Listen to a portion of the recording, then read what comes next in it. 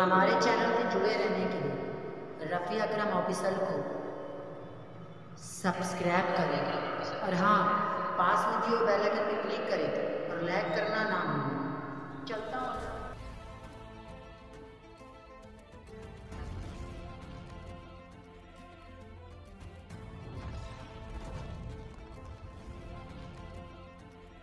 أعوذ بالله من الشیطان الرجیم پناہ مانگتا ہوں میں اللہ کی شیطان مردود سے۔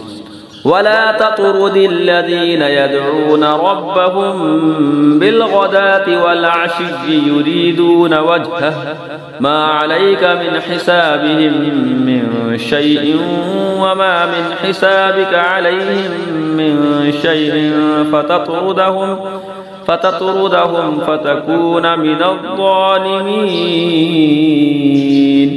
اور دور نہ کرو انہیں جو اپنے رب کو پکارتے ہیں، صبح اور شام اس کی رضا چاہتے تم پر ان کے حساب سے پچھا نہیں اور ان پر تمہارے حساب سے پچھا نہیں۔ پھر انہیں تم دور کرو تو یہ کام انصاف سے بعید ہے۔ وَكَذَلِكَ فَتَنَّا بَعْضَهُمْ بِبَعْضٍ لِيَقُولُوا أَهَؤُلَاءِ مَنَّ اللَّهُ عَلَيْهِمْ مِنْ بَيْنِنَا أَلَيْسَ اللَّهُ بِأَعْلَمَ بِالشَّاكِرِينَ اور یوں ہی ہم نے ان میں ایک کو دوسرے کے لیے فتنہ بنایا کہ مالدار کافر محتاج مسلمانوں کو دیکھ کر کہیں، کیا یہ ہیں؟ جن پر اللہ نے احسان کیا، ہم میں سے۔ کیا اللہ خوب نہیں جانتا حق ماننے والوں کو؟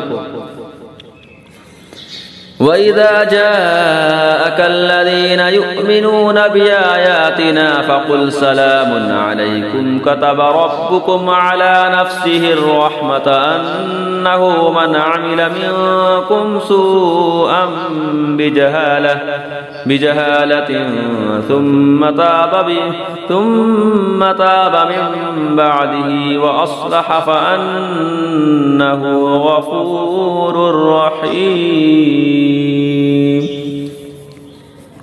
اور جب تمہارے حضور وہ حاضر ہوں جو ہماری آیتوں پر ایمان لاتے ہیں، تو ان سے فرماؤ، تم پر سلام، تمہارے رب نے اپنے ذمہ کرم پر رحمت لازم کر لی ہے کہ تم میں جو کوئی نادانی سے کچھ برائی کر بیٹھے، پھر اس کے بعد توبہ کرے اور سنور جائے، تو بے شک اللہ بخشنے والا مہربان ہے۔ وَكَذَلِكَ نُفَصِّلُ الْآيَاتِ وَلِتَسْتَبِينَ سَبِيلُ الْمُجْرِمِينَ۔ اور اسی طرح ہم آیتوں کو مفصل بیان کرتے فرماتے ہیں۔ اور اس لیے کہ مجرموں کا راستہ ظاہر ہو جائے۔ قل انی نہیت ان اعبد الذین تدعون من دون اللہ قل لا اتبع اهواءكم قد ضللت اذا وما انا من المهتدين. تم فرماؤ، مجھے منع کیا گیا ہے کہ انہیں پوجوں، جن کو تم اللہ کے سوا پوجتے ہو۔ تم فرماؤ، میں تمہاری خواہش پر نہیں چلتا۔